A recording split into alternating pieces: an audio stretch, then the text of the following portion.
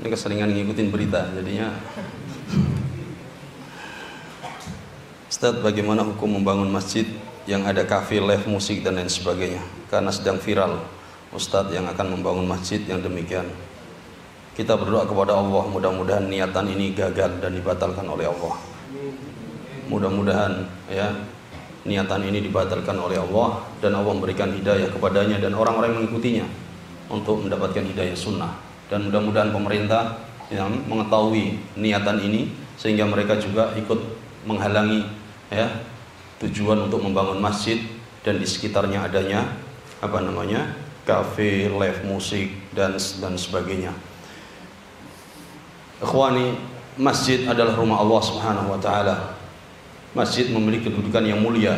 Para ulama menuliskan kitab-kitab khusus tentang masjid. Ya, menjelaskan bagaimana kehormatan dan kedudukan masjid yang begitu mulia. Bahkan Allah menyebutkan ya lafaz masjid banyak di dalam Al-Qur'an. Nabi juga menyebutkan tentang masalah masjid banyak dalam hadis-hadisnya. Di antaranya bahwa masjid harus dibersihkan dari kesyirikan. Masjid tidak boleh digabung dengan apa? Kuburan. Haram. Kalau kuburan kemudian dibangun di atasnya masjid, maka masjid dihancurkan karena kuburan lebih dulu. Kalau masjid kemudian dimasukkan mayat dan dipendam di dalam masjid, maka mayatnya harus diangkat dan pindah ke tempat yang lain karena masjid yang lebih dahulu. Maka masjid Allah tempat beribadah tidak boleh digabung dengan apa? kesyirikan. Masjid harus dibersihkan dari perkara bid'ah. Tidak boleh rumah Allah dijadikan tempat untuk melakukan bid'ah-bid'ah kemungkaran yang itu merupakan perkara yang dibenci oleh Allah dan Rasulnya. Tidak boleh di masjid kemudian orang apa? Joget-joget dan tari-tari dengan musik. Alasan untuk apa? Berzikir dan berdoa. Zikir dan doa dia tenang, berzikir kepada Allah. Tapi kalau zikirnya dan doanya dengan tari-tari dan joget-joget dengan kendang-kendang, apa bedanya dengan zikirnya orang-orang Nasara? di gereja mereka. Rumah Allah tempat beribadah untuk sholat, untuk berzikir, untuk berdoa, untuk membaca Al-Quran, untuk belajar.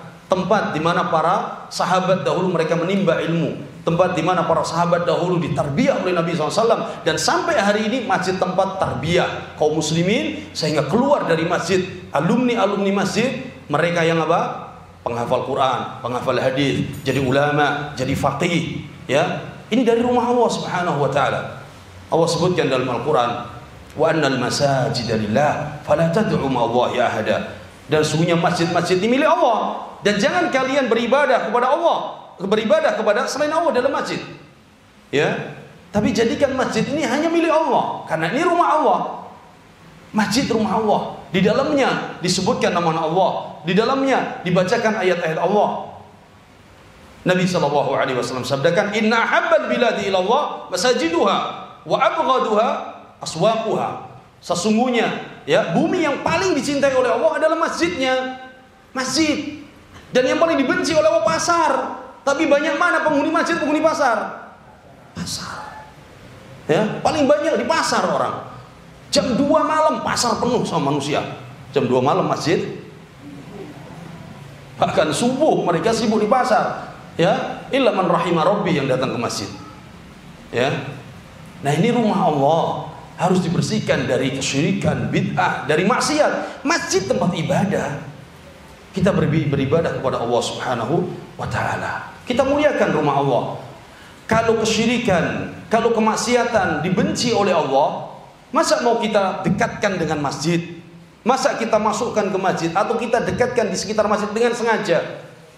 Rumah kita sumpama dan kita tidak menyukai sesuatu tersebut. Kemudian ada orang mendekatkan kepada kita kita tidak akan rela apalagi ini rumah Allah Subhanahu wa taala. Maka kita wajib ya menjadikan masjid ini tempat ibadah kepada Allah Subhanahu wa taala. Ketika seorang mengumumkan sesuatu yang hilang di masjid apa kan ada Nabi sallallahu alaihi wasallam?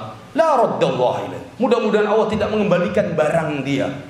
Kenapa? Karena masjid dibangun bukan untuk mengumumkan barang yang hilang. Ya.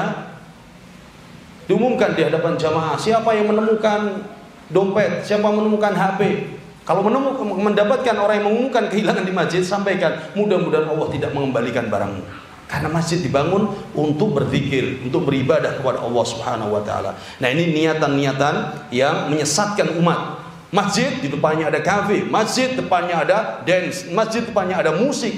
Tidak akan sama dan tidak akan bisa gabung suara syaitan dengan suara siapa? Suara ayat Allah. Allah membenci dan Allah melarang apa? Nyanyian-nyanyian. Wa minan nasi may yashtari lahwal hadith liudhillan nas. Jadi antara manusia ada yang apa? Ya, membuat apa? Lahwal hadith. Lagu, nyanyian untuk menyesatkan manusia. Kira-kira coba bayangkan mana yang akan rame? Masjidnya atau tempat dance dan musiknya, tarian di luarnya? Orang lebih rame di luar karena maksiat lebih banyak diminati oleh orang.